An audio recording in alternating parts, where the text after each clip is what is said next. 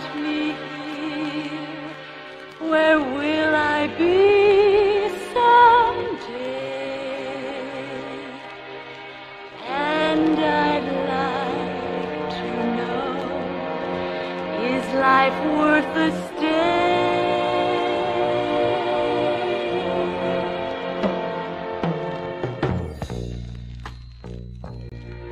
Those are serious questions, aren't they? Questions that demand answers. Many theories of man's existence have been proposed, but none seem to match what we see and sense about ourselves, about our true worth. Man, in his desperate search for love, for identity, for meaning and purpose in life, will never find the answers to his questions until he discovers the roots of humankind. But then there's you and me. How do we fit into the picture? Into our crowd, our family? How can I be myself unless I know who I am? Each of us, though in the company of others, in reality walks alone. Alone with our dreams, our disappointments, our hopes, our heartaches. Never quite knowing, even though we may come to share an intimate love relationship with someone, how to satisfy the desire for total acceptance, complete fulfillment. As we enter into marriage or seek to build a career, often the unfulfilled inner needs are temporarily translated into a drive for personal and social success, as if status and the applause of peers might somehow answer the heart's search for acceptance and love. But how many find that in popular success the very foundations of their lives have by neglect decayed away? And the prize, if won, is a piece of worthless tinsel.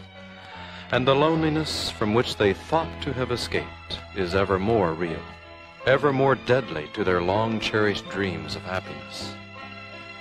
With retirement, many are confronted with the waste and futility of their lives. In these days, this realization seems to come earlier in life and young adults reject the treadmill existence of their parents, who they sense have never discovered real meaning in their lives. We may have been able to cope with our disappointments, our loneliness, in a responsible way, but many have sought relief from the pain of alienation, from the boredom of existence and aloneness, in sexuality, in arrangements that carry no responsibility. Others seek it in alcohol or drugs. For some, these have provided a certain sense of belonging, of togetherness, a temporary satisfaction of a need that somehow cannot be suppressed.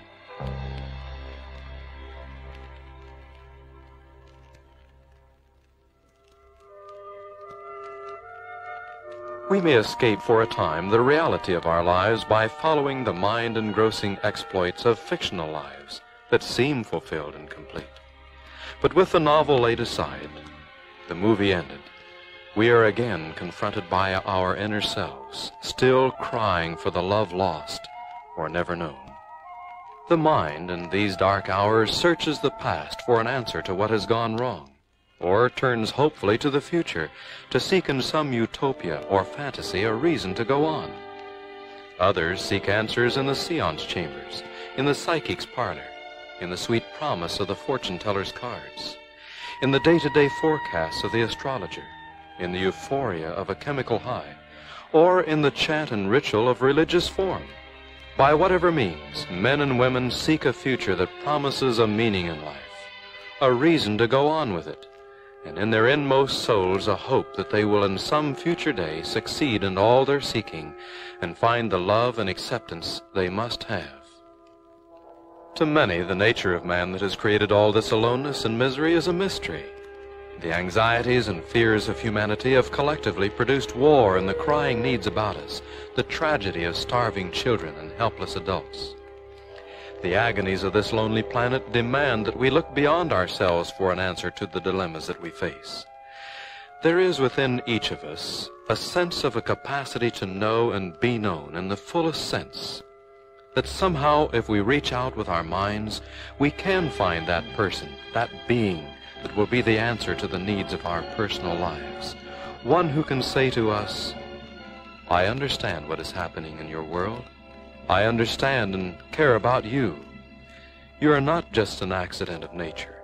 not the pawn of psychological or chemical or natural evolution. You are part of a divine plan. I have not left you alone to grope aimlessly in the dark for a satisfying way of life. You are significant, for I have given you a mind with which to reason, evaluate, and choose.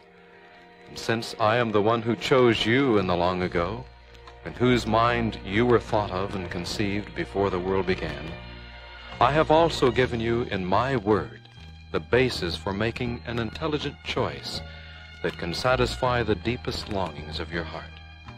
I am the way, the truth, and the life.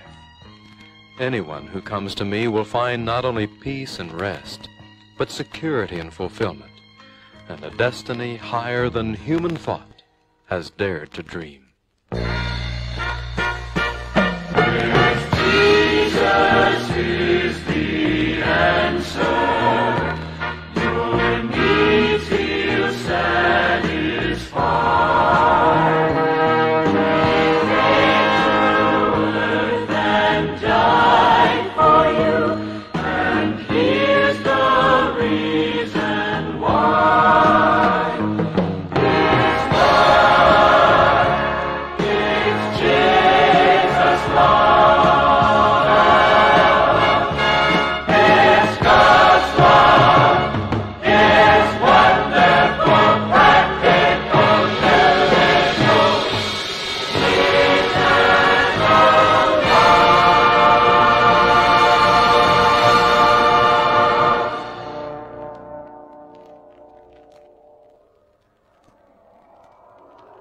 The beginning, God.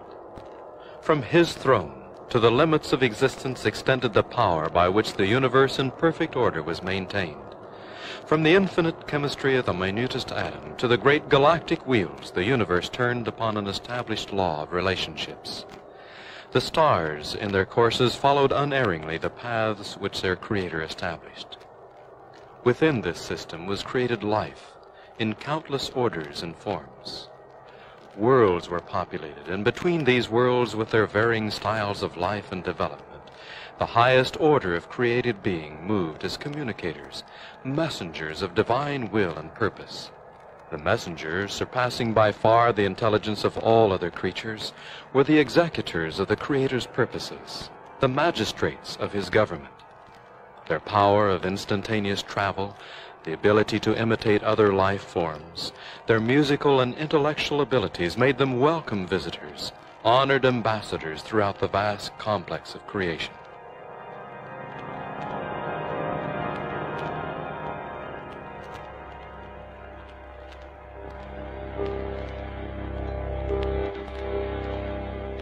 In this ageless system, there was perfect harmony. Each object, each being bore a relationship to every other, a relationship of service and love. The messengers saw the results of creative power, but were not active in the creative process. To the one who stood first among these messengers, this limitation was a mystery and a disappointment. His name, Son of the Morning. He stood first above all created beings. To him thousands and ten thousands paid heed, and by his intelligence the missions of the messengers were directed. While the process of creation continued, its plans and purposes were not fully revealed. But it became obvious to this son of the morning, whose name was Lucifer, that in the council God and his son had planned a very different, important creative event. The court of heaven was astir with curiosity, and Lucifer wanted to participate in the Creator's plans, to be a creator himself, to be, like God, a life originator, to have a place in the highest council. This was his plan for himself. The Creator explained that only the Son, the one who had ever existed, the one who bore the image of God, could be included in the innermost council.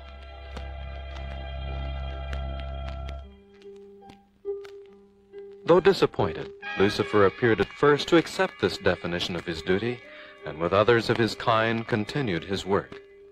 But his plan he cherished and dwelt upon until he could not and would not be content with God's plan. His plan was better. He communicated his desires to the other messengers, suggesting that they were all deserving of a higher, more independent station. The law of relationships for them was unnecessary. This suggestion from one who occupied so high a position was accepted by many messengers as a valid argument against the government of God. It was a controversy, the very first. It was a contest of wills. Should the system of law upon which a universe was created and operating be maintained? Or should a new principle of order be established? On this issue turned the fate of countless worlds and innumerable beings. I will fight till I win what I'm after.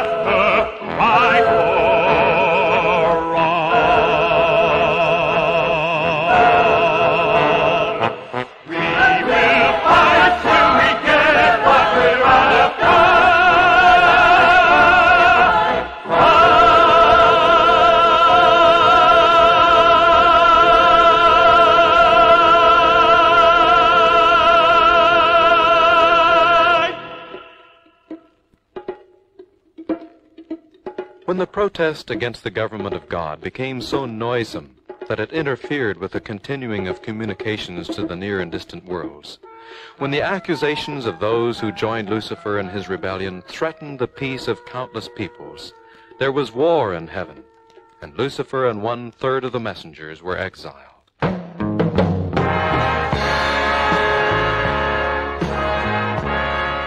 Thus closed a chapter in the history of this universe, and by these events the stage was set for Earth, third planet of Sol, to become the theater of the universe.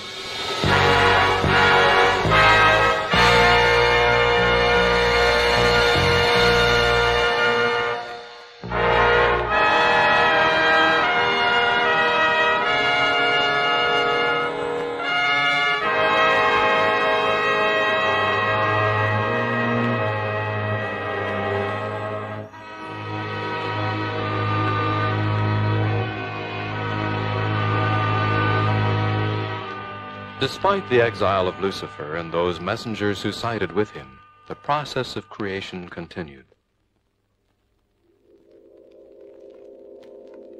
In a remote and heretofore darkened portion of the realms, in a space in which no matter had previously existed, there was earth without form or continents.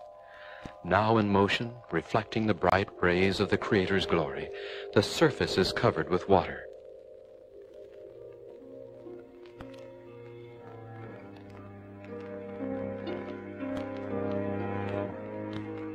The stratospheric vapor shield surrounds the planet as continents appear dividing the waters. With each rotation, new features appear. Vegetation covers the surface, trees and vines yielding a bounty of ripening fruits and berries. Grass and flowers provide a surface beauty of varied color.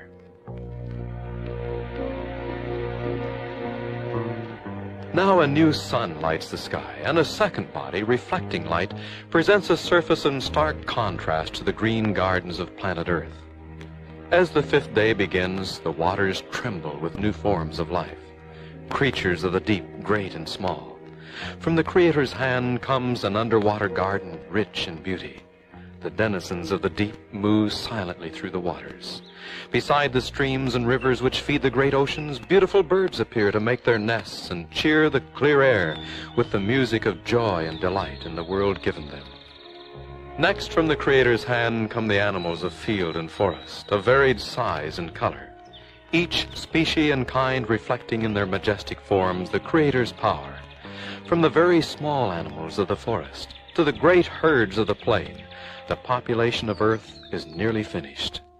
Then God the Son came forth, and from the very elements of the earth, created a form so like his own as to marvel every observer.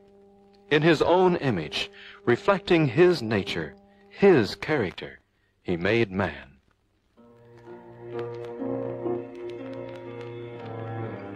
He gave to man an aspect of his own power, power to create by choice, power to decide, power to choose between alternative courses of action. When Adam had named the animals, his Creator made him sleep, and from a small part of his body formed a creature more beautiful than any other in all the earth, one who would be equal in purpose and worth with him, to share his love and responsibilities, to be with him a partner in the creative process conferred upon him by God. Adam and Eve were joined by God as man and wife. Their love and joy and togetherness would forever be a reminder of their relationship with Him and His love for them. As the sixth day of creation came to an end, Adam and Eve were invited to share the Creator's rest. Far, far more than just a physical rest, it was a time of open sharing, of knowing and being known. Adam and Eve knew that God accepted them completely. They rested with Him in learning of His plan for their lives. As that day of rest closed in another fading sunset, the father and son drew the human pair in closeness to them.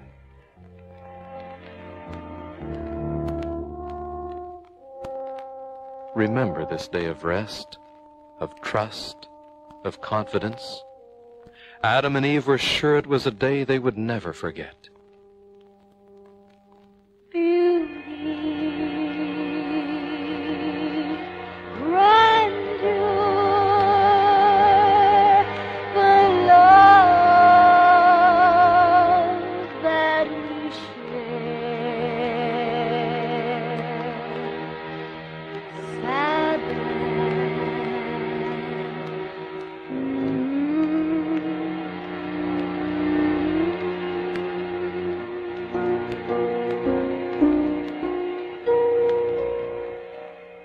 soon, too soon, the rest of man with God would be only a memory of Eden's dearest treasure.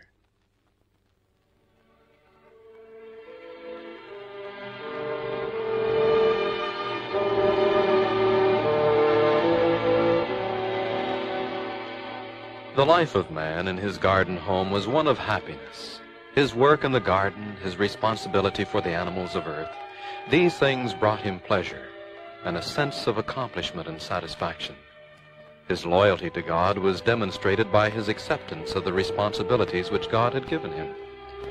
Lucifer had been disloyal, had refused the place of service given him. Adam was loyal, accepting, and happy in the work God had given him to do. The loyalty of Adam was to be demonstrated in obedience to God's commandment regarding two trees placed in the garden. One tree provided the means whereby Adam might demonstrate that he chose to receive his knowledge from God, that he accepted God's word and plan for his life. The tree of the knowledge of good and evil was a forbidden tree, and Adam and Eve planned never to go near it. But the tree of life demonstrated man's dependence upon God for life and for his every need. It was for their nourishment, and of it they could freely eat.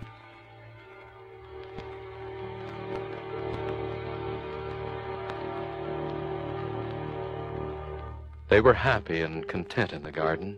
Its beauty and grandeur, the hours of peaceful bliss, were never to be broken until the day Eve found herself away from her husband and only a short distance from the forbidden tree.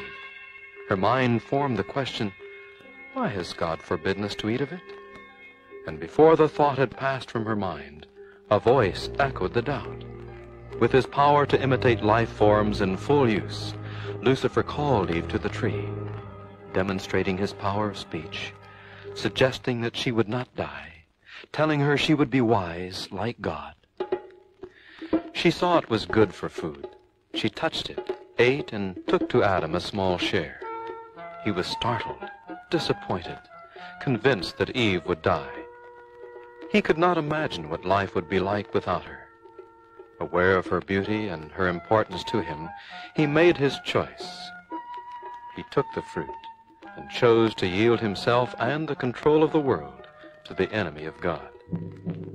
A sense of terror seized Adam and Eve. They ran from the garden toward the darkest part of the surrounding forest. They heard the voice of the Son of God calling them and formed crude garments of leaves, trying to make themselves acceptable in his presence. They were surprised that he was not angry with them. They saw that he loved them still. After all, he did come after them, sought them. His anger seemed reserved for the serpent, for the one who stood behind the serpent's mask, for Lucifer, the enemy of man and God.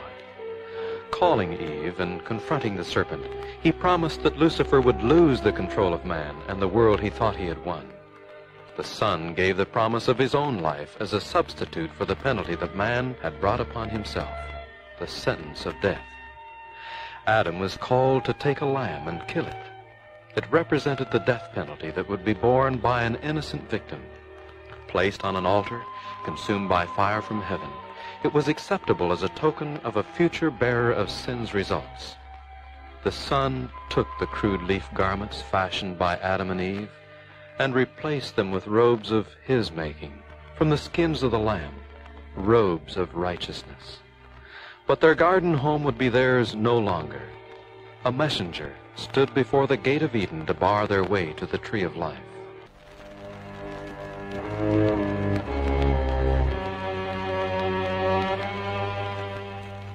Years later, Adam held in his arms another victim, his own son, murdered by Cain. Cain fled from the growing family of Adam and established a tribe which followed his example in rebellion and crime. Centuries later, the sons of Cain and those who thought like him produced terrible evils on the earth. And Noah, nine generations from Adam, brought a warning from God that the wickedness of man was so great that the world would be reestablished by faithful men who would accept God's invitation and enter an ark Noah was commanded to build. The message of warning was given for 120 years, a message from God for his people. Noah preached, and men scoffed, jested about whether there really was a God after all.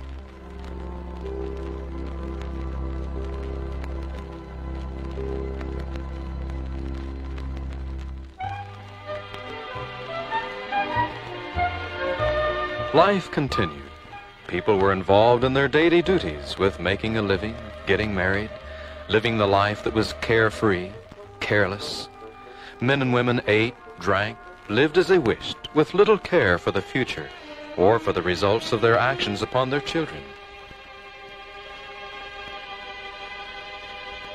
And all this time the ark was being built, the preparations made, the world of men now warned, the hour came.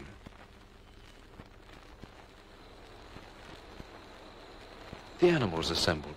From forest and field they came, pairs and groupings of every class and order. Few, few men were obedient to the call of God.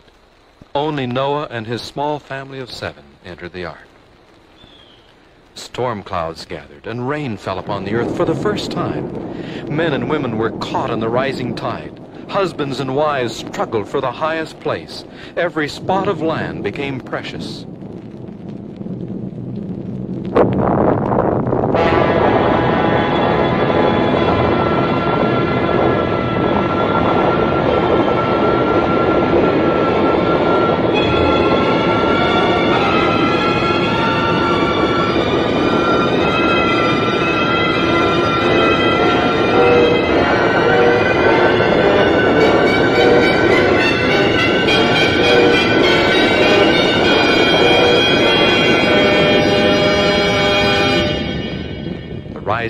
Covered every possession, buried every evidence of that ancient civilization, destroying every living thing outside the ark.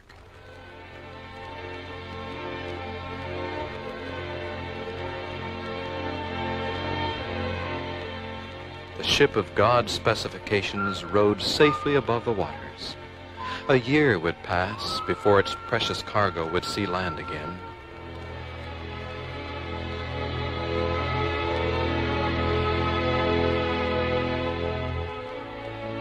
They were bound for a new life, a new world, a new beginning for man on earth.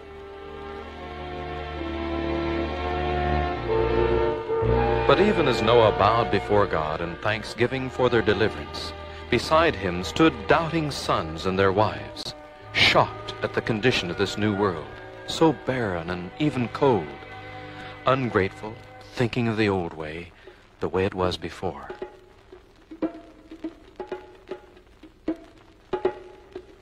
In the children and grandchildren of these doubters, the seed of rebellion was more fully developed. Denying God, they proposed to build for themselves a tower of safety, higher than the floodwaters had reached, a tower in which the worship of man-made things was substituted for the worship of God. Broad ramps were built to accommodate the people. Along these ramps were stations where images were placed for worship. The peak of the tower was planned for the worship of the sun. The people were to assemble at sunrise and bow to the rising orb. This tower of self-sufficiency defied God, and by its worship destroyed the people's understanding of him. Before the tower was completed, God intervened. The tower's top cornered and fell. A variety of languages was given to disperse men across the earth. Forming new nations, they took with them the elements of Babel's religion, establishing a common thread in world religions, worship of the sun, of images, and of the defiance of the Creator. History and Scripture record the name of Nimrod, great-grandson of Noah, as the builder of Babylon. First to train animals in hunting, he was a curator of pre-flood religion, not the religion of God, but the religion and wisdom of the so-called ancients, and of the secret one whose name and worship had been hidden in the images and mysterious symbols of the great tower. He set himself up as like unto the gods, and established the worship of the sun and planets, introduced the concepts of astrology, forecasting the future by means of signs of sun and stars. In the religion of Babylon were embodied the elements of secret cults and sects traceable down through history. Based upon tribal and other rites, advancement by degrees as in the advance through the stations of the great broken tower, these cults passed on verbally the secrets of their symbols, stars, triangles, circles, crosses, symbols of sun, moon, and planets. Behind these symbols there was the sign, the number, and the mark of the secret one, sometimes called the secret master.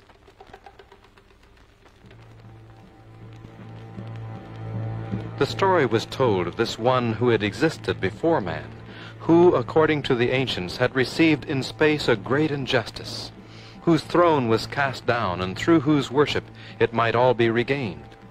Told by many religions, it was the same story. The pointed stars of the Eastern religions and secret societies, the prophets and priests of the mystical ancient Mass, all found common ground in the name and number of one whose story reached back to the very beginning the mystery of the fallen one, the one wise in Eden, the one who promised life independent of God, the one whose war with the Creator continued. Lucifer, the enemy of God and man. In the city of Ur, the effect of this religion was clearly seen. The worship of the sun, the enthronement of priests, the chants of ecstasy and sensual rites of worship combined to draw even the most sincere of heart into a false system of worship, behind which the enemy sought to degrade and destroy the image of God in man.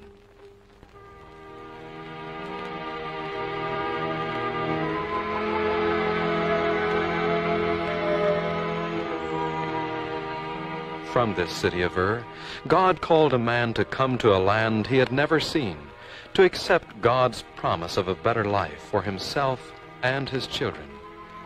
The man believed God's promise. He left Ur of the Chaldees and began the long 1,200-mile journey up the Euphrates Valley toward the land of promise.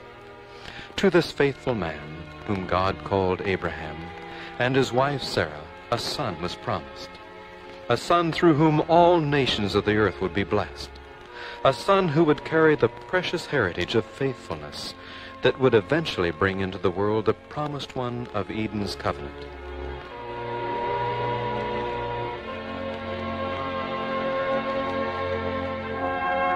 Abraham's wife Sarah at first believed the promise that God would give her a son, that this son would carry the precious heritage of faithfulness he would be the bearer of the promise. In his offspring, all nations of earth would be blessed by the birth of one sent from God. But as Sarah passed the years of childbearing, she doubted, and Abraham doubted. At Sarah's urging, he took her servant Hagar as his wife, and Hagar bore Abraham's first son, Ishmael. But this was not the son of promise and Ishmael left Abraham's camp, and became the father of the modern Arab nations. At last, believing the promise, Sarah did conceive, and in her ninetieth year bore Isaac, the son of promise. Long waited for, he was the precious son of Abraham. And yet Abraham again was called by God, given an errand to test to the core his faith. God asked Abraham to take his son, his only son, to Mount Moriah and take his life, offer him as a sacrifice. The man who had doubted God now obeyed, raising the knife over his son.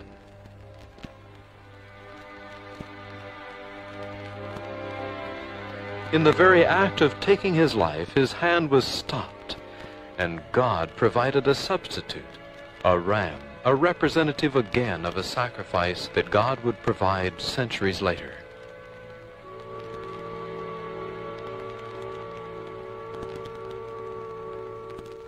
Isaac took Abraham's place as the patriarch of God's people and himself became a father. His firstborn was Esau, a man who chose to hunt his food, proud, often rebellious. His second son was Esau's twin, Jacob, who coveted the birthright of the firstborn and bargained for it to obtain by his own craft and deceit God's blessing. His effort resulted in his exile, and away from home and alone, he dreamed of a ladder of messengers passing between earth and heaven, a connection between God and man. Twenty years later, returning home with family and flocks, he hears the news that his vengeful brother Esau is coming to meet him. While pacing the river bank in the darkness, Jacob struggles with one he supposes to be his brother. Discovering that it is a heavenly visitor, Jacob pleads with the Son of God for a blessing, not on the merits of his own effort now, but on the basis of his helplessness, his dependency upon God. Jacob is blessed and is given a new name, Israel, Prince of God.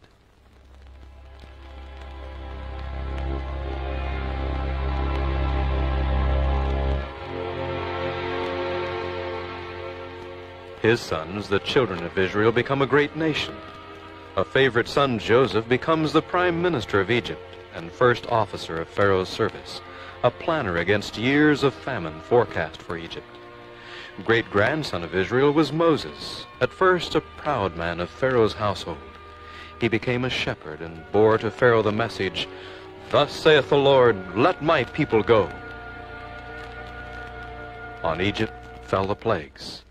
But on the night of the deliverance of God's people, the blood of a lamb spread above the door of the faithful was a symbol of protection, of deliverance. And God led his people up and out of Egypt, through the great Red Sea, leaving beneath its depths proud Pharaoh and his army. Moses was directed by God to lead his people to a better understanding of their relationship to him. These people, called by God to come out of the slavery of Egypt to worship him, bore the marks of their long years of bondage in a hostile, heathen land. To them were given the rules of healthful living that, in combination with the healing power of God, would make them free of disease, an example to the nations around them of God's plan for all people.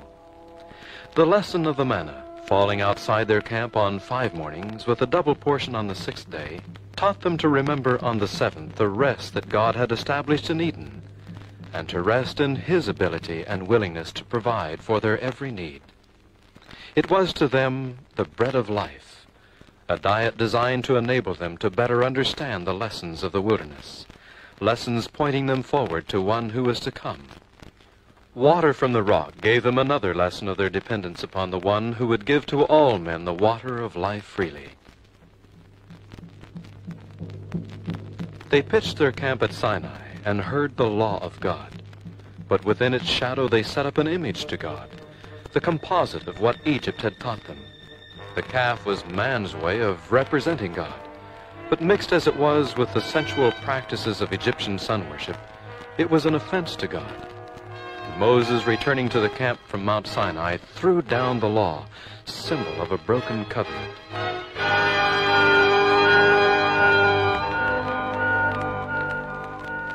Despite the disloyalty and problems of his people, God chose to set his tabernacle among them.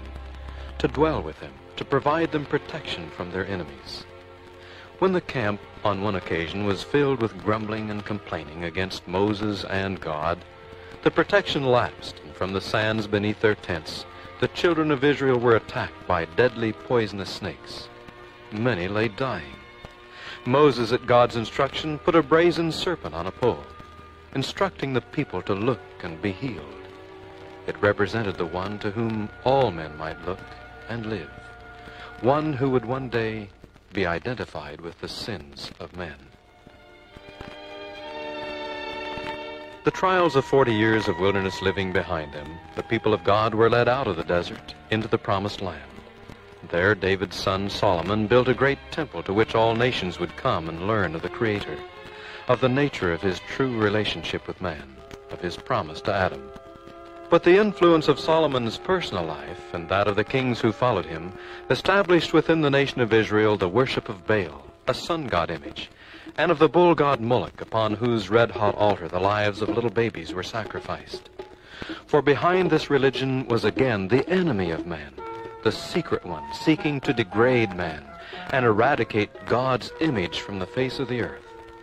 To the rebellious nation of Israel, God sent Elijah, a man chosen to speak for him, to call his people out of the religion of the sun god Baal and back to a relationship with the Creator, back to faithfulness to the commandments of God and the testimony of his prophets. The priests of Baal, with King Ahab and his wife Jezebel, combined the forces of religious and political power to bring all the nation of Israel into a system of worship which had the mark, the sign of the enemy of God. Faced with drought and famine, the king and priests tried by every means man could devise to curry the favor of God in order to bring an end to the difficulties that seemed about to destroy their nation. At this critical point in national affairs, Elijah proposed a test in which fire could come down from heaven as a signal of God's favor upon either the image worship of the priests of Baal or the simple worship of the Creator. The priests, beginning at sunrise, prepared on Mount Carmel an altar to Baal, and by chant and senseless dance they sought to please their sun god. By midday, the efforts of the priests became more frantic. They began to cut themselves and press their pleas to the point of death, but to no avail.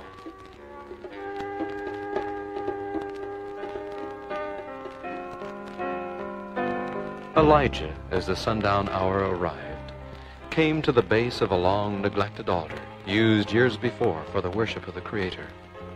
When it had been thoroughly soaked with water and a sacrifice prepared, he prayed, Lord God of Abraham, Isaac, and Israel, let it be known this day that thou art God. As his prayer is finished, fire streams down from the sky to consume the sacrifice, a demonstration of God's willingness to accept those who would seek him in accordance with the teachings of his word. The nation again was turned toward the worship of the Creator, and the drought ended.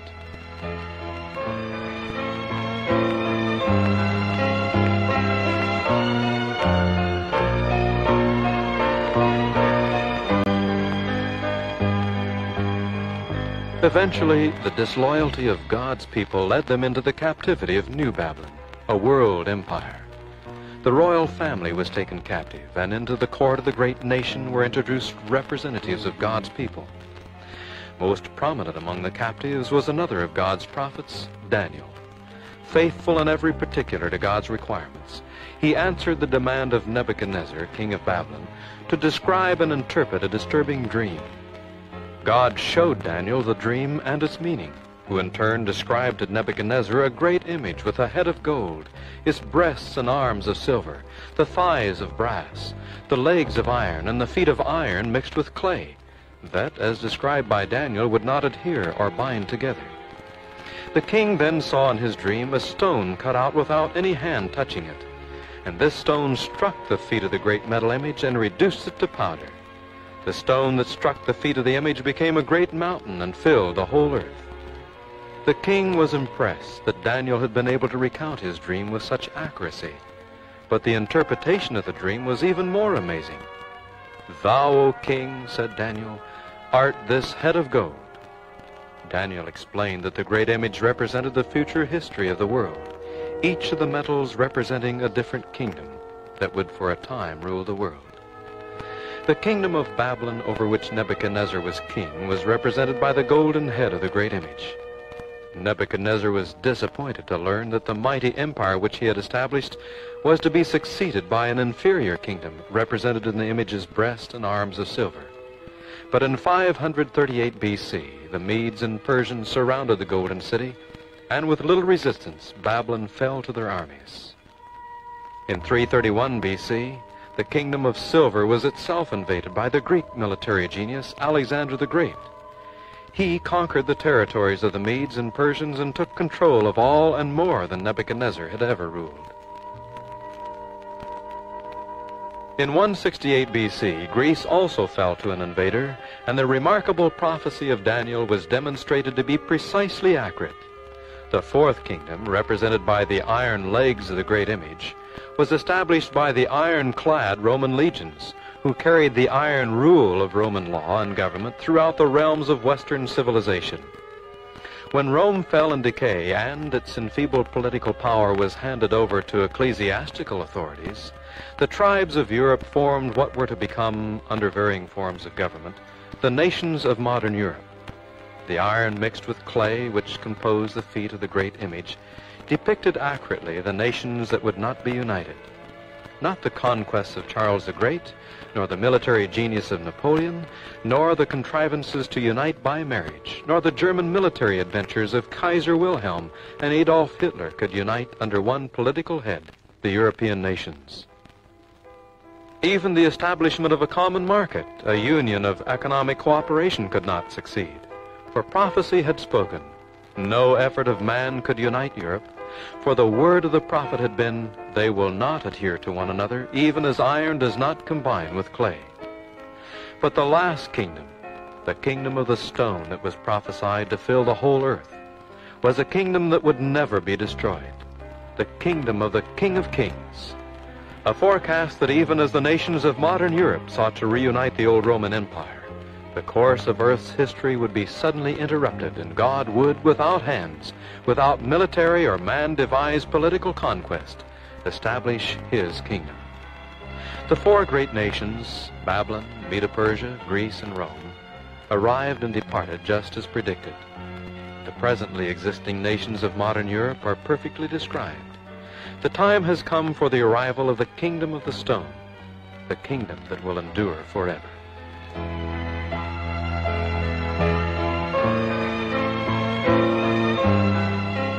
Daniel saw in later visions the four kingdoms represented by great beasts. The first kingdom, Babylon, was represented by a great winged lion. A bear with three ribs in its mouth pictured the second kingdom, Medo-Persia. A leopard with four heads represented the third kingdom, Greece. And a fourth beast, different from all the previous beasts, represented Rome and portrayed in a powerful prophetic picture the influence of Rome down through the centuries in all of its varied and terrifying aspects. A later prophecy pictured this same power as a great red dragon viciously confronting a woman of purity who was about to give birth to a child. The dragon could only represent Rome, and the child, none other than the promised one.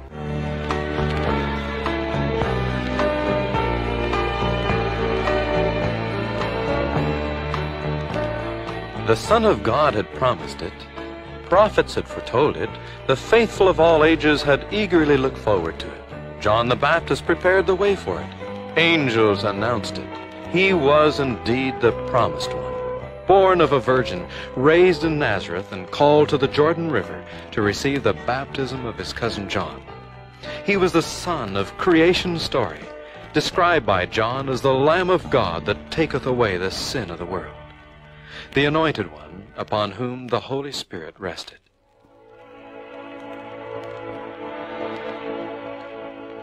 He faced hunger forty days, and in a weakened condition was confronted by the tempter of Eden, the enemy of God. He faced the evil one, not with might of angels or the power of destroying fire, but with the armor God gave to every man, the Word of God, the strength of God's people through the ages. He drove from his father's house the wicked priests whose greed and senseless traditions challenged the confidence of the sincere at heart in the tokens of God's love, represented by the Lamb and other services. Jesus was a teacher, a minister of wisdom, simple wisdom the people understood. His message, Blessed are the poor in spirit, for theirs is the kingdom of heaven.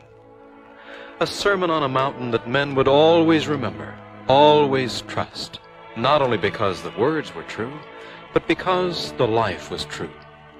He was to every man and woman what God has always desired to express, love and compassion, forgiveness and security, and resting and trusting in Him. To a woman condemned by priests, scorned and shamed in public, he was a certain Savior, a forgiving God. To children, he was a kind and loving friend, one they could admire and never, never be disappointed. To the crippled and the lepers, he was the great healer, the one who never turned away anyone who called upon him for help. To the blind, he was a light, the one who gave them a new life, a chance to see, to work, to live as other men lived. To the broken-hearted of every age and time, he is the comforter, the restorer, the one who can take the tangles and knots of any life and make it whole again, who can turn despair and hopelessness to triumph and happiness. He could rebuke the Pharisees as they sought to entrap him, and yet give courage and hope to mothers for their children. He brought his disciples to a supper to share with them a last message. He served them as a servant, washing their feet, teaching them of his love and of the love they must give to each other.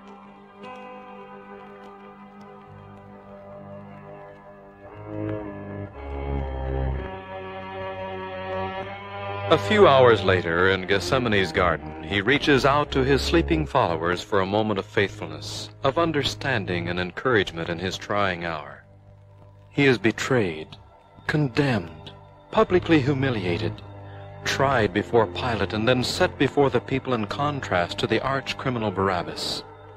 Urged on by the evil priests, the courtyard mob, forgetful of his kindness and mercy, forgetful of his life of service to them, scream, Crucify him! Crucify him! We have no king but Caesar! A great wooden cross is thrust upon his shoulders, the mob pushing around and behind him. The journey begins toward Golgotha, where Roman soldiers execute punishment reserved for the worst criminals. Behind all this mistreatment, torture, and abuse was the purpose of the evil one, the enemy of man and God. If Jesus could be forced to surrender his purpose instead of his life, all might yet be won. But the Savior trusted, resting his life with his Father. Beyond the dark clouds of separation, by faith he believed his Father's word. From heaven's highest council he had come. A throne magnificent beyond description he had forsaken. From a world of light and love to a world of darkness and hate he came to display in human life, in human love, the true picture of God long obscured by the enemy. His life and death were God's love in action, the perfect revelation of God's willingness to seek and save man from his hopelessness and despairing condition when he had tasted to the fullest extent the separation sin would bring between man and God, when he had felt the pain surpassing all other pain, he said, It is finished. The veil in the temple was torn from top to bottom. The lamb of the evening sacrifice escaped from the priest's hand, and the law of ceremonies was retired, as the true Lamb of God hung between heaven and earth. He was carried to a borrowed grave, mourned by a few frightened disciples, and came forth in power to give his followers of all ages a life beyond the grave.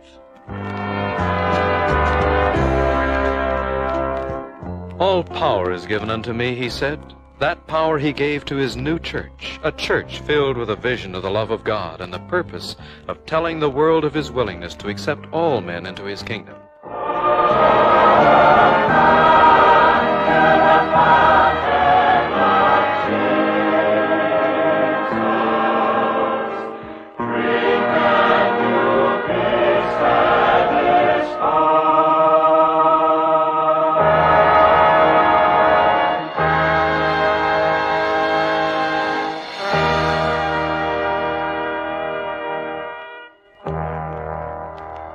Jesus gave, the power of the Holy Spirit, rested upon the church. The prophecy of Revelation pictures Jesus walking among symbols of the churches. Light-bearing candlestands represent the churches of future ages. Across the sky of John's prophetic vision, a white horse and rider pass in triumph, representing the church in its purity riding to victory, carrying to the limits of the dying Roman Empire the gospel of a crucified but living Savior. The second, a red horse, its rider with a sword, depicts the church in the hour of persecution at the hands of pagan Rome. The blood of Christian martyrs yielded in witness to their faith in Jesus. Rather than discouraging the early church, the persecution strengthened and extended its influence. More damaging than the persecution of Roman emperors was the conversion of the Emperor Constantine and the resulting declaration of Christianity as a state church. This period of time was represented in Revelation by a black horse, depicting the church in its impurity, the death of its virtue and power. The influence of pagan practice brought ceremonies into the church that were nearly identical to the features of the popular Roman sun worship. The Day of the Sun, by decree of Constantine, became the day of worship for both Christian and pagan, and the symbol of sun and cross became the emblem of a church dependent upon political rather than spiritual power. The fourth, a pale horse, depicted the era when church and state attempted to destroy the remnant of those faithful to the teachings of Jesus, those who loyally maintained their allegiance to the commandments of God. To these, flaming death at the stake or weary years in a loathsome dungeon were an expected end. Death, as the pale horse illustrated, came to the church, and its light was nearly extinguished in the darkest ages of the history of man. The political religious power of this period of history was shown to John as a many-headed beast of terrible ferocity, representing the nation supporting the trials and persecution of God's people down through the ages. This beast is shown to practice and prosper. This same power, shown as the horn of the dragon beast, speaks great things against God, and is described as a blasphemous religious power claiming the prerogatives of God on earth. And behind this mask of religion is the evil one, the enemy of God, Lucifer, acting out through his human agents his desire to take the place of God. By his dictates the scriptures are forbidden, the law modified and changed.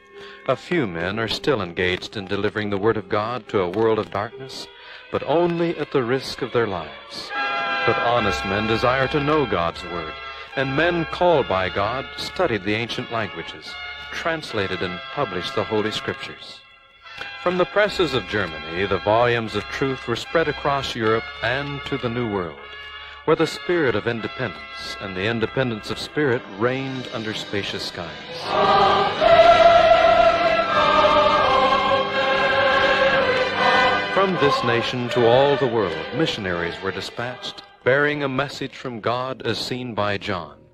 Three messengers above the earth were seen bearing the last message to people who would be true to God, a message of the everlasting gospel, a message calling the world back to the worship of the Creator, to a rest of trust and peace with Him, a warning to the people of today that this is the hour of God's judgment. The prayers of God's faithful people are heard earnest and unselfish men and women called by God, bear courageously the testimony of Jesus and show to the world a loving Savior, standing for them in the heavenly sanctuary, pleading on behalf of those who choose to serve Him. This is the hour men must decide, as men did so long ago, whether they will serve themselves and have their religion their way, or serve God and follow His way, do His will, and keep His commandments. It was a message which the fallen one, the enemy of Christ, would oppose with every means available. But it was a message to be given with great power, that same power with which the Church of Purity had long ago been endowed. The power of the Holy Spirit, the power of Christian men and women, the young and the old, who in obedience to God's every commandment would in faith and righteousness bear the testimony of Jesus. The gospel of the three messengers ended with an awful warning, a warning against the mark of the beast, a mark that is the sign of the secret one, the enemy of God. It is a warning that in this time of the end he will have great power to deceive, to enchant and possess men and women, to call down fire from the sky, to finally imitate Jesus himself in an attempt to possess the earth and its people entirely. The warning is to everyone, a warning against false worship, against idolatry, against a wicked woman whose profession is typical of those false religions of the present and the past. The religions which began back in ancient Babylon with the worship of the secret one. It is a warning against a last day edition of these ancient services which would employ the same signs and symbols, the same dependence upon the works of man for a relationship with God. The woman symbol, shown by John as riding the dragon power, is alive today, practicing today, prospering today. The crafts of medicine man and astrologer, of frenzied dance and ancient chant, the music of heathen drums are the sounds of worship today. All these sensual substitutes are designed to hold on enchanted ground the people who in their hearts would serve God. To our whole earth comes the last warning, Come out of her, my people, as you came out of Egypt. Come out of the thraldom of a worship that lets any man or object come between you and the Savior. One single principle, common to pagan cults and the combining Christian churches, is to be established. The point upon which all find agreement is the work of a man, a substitute for a requirement of God. In the symbols and images of the ancient sun worship, in the ways of ancient Babylon and pagan Rome, a common ground will be found. Behind the facade, the apparent unity of political and religious systems is the enemy of God, the secret one, the ancient master of disguise and deception. The final test over all the world will be a choice between the rest that God provides and the substitute for that rest which Satan urges men to honor, and by so doing yield control of themselves and the world to him.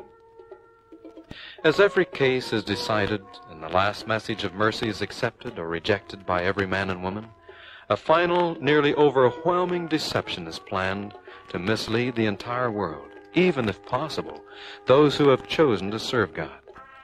As the guise of a serpent masked the deceiver of Eden, so now the evil one undertakes the master counterfeit of all time, the impersonation of Christ himself. Satan appears on the earth as Jesus, heals the sick, raises the dead, unites his followers of various communions, creeds, and cults. The world at large, enchanted by the impersonation, then seeks to silence forever those who will not accept the clever counterfeit of worship as he directs. Now Jesus, the minister in the heavenly sanctuary, casts aside the censer of incense, lays aside the robe of his intercession for men, and dons the robe of King of Kings, and prepares to return to the earth to deliver his people. As the followers of the false Christ advance to destroy the people of God, and the influence of God's Spirit and the restraints of holy messengers are released, the earth is inundated in disaster, followed by calamity as the seven last plagues are poured out upon those who have received the mark of the beast. The sun men have worshipped indeed has its day, a day of destruction, a day of awful anguish, a day without rest for the wicked, a day for those who refuse the day of God. For God's people, the day of deliverance is a day of rest, a day of trust in Him, a day that Jesus gives them. In every heart is an eager hope of seeing and being with Jesus. As the dark clouds of the sky are rolled back, in the east a small black cloud appearing about the size of a man's hand is seen, moving rapidly across a fast brightening sky. It grows larger, spreading across the heavens. Messengers in thousands and ten thousands are seen accompanying the King of Kings and Lord of Lords. Jesus, the crucified and resurrected one, has come to claim his people. The trump of God is sounded. Like a mighty roll of thunder, its shock waves reach into the graves, and around the world the faithful of every age are resurrected. My God is coming, and all the angels with he's promised to take me up to heaven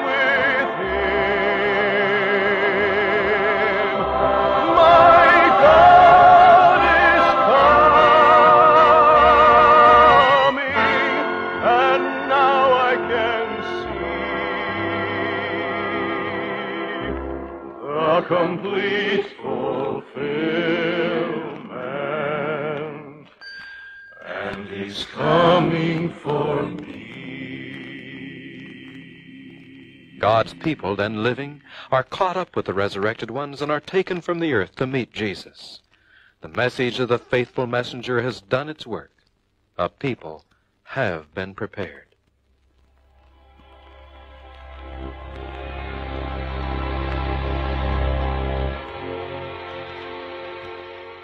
The pain and tears of earth are all behind them now.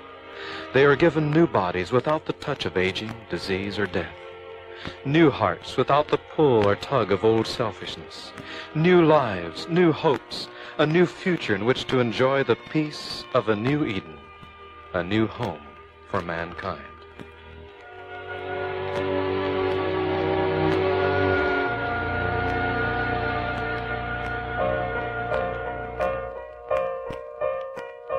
Those faithful to God from every age are now brought together for a thousand year reign with Him in the New Jerusalem. The holy city becomes a universal center of celebration of the victory of God's people over the wicked one. Here the records of earth are opened and the judgments of God with respect to every individual disclosed. While the sins of God's people have been eradicated and forgotten, the records of the unrepentant are there that all might see and confirm God's justice in dealing with every man.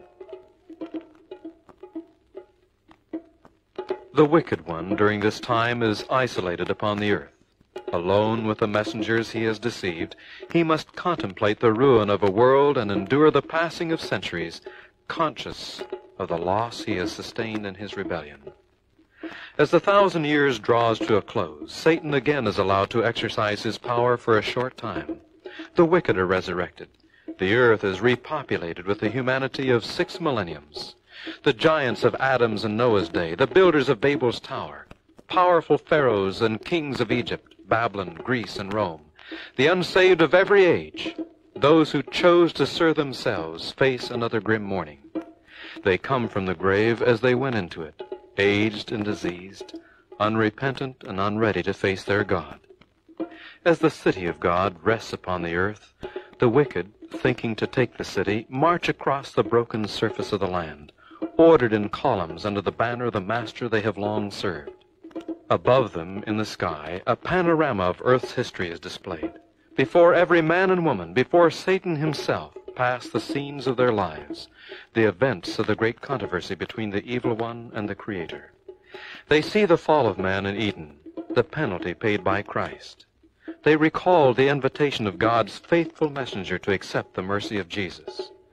They bow, acknowledging the sovereignty of God, and then, as though hypnotized and mad, they rush relentlessly toward the city of God in a last desperate effort to take it by force, to have it for themselves.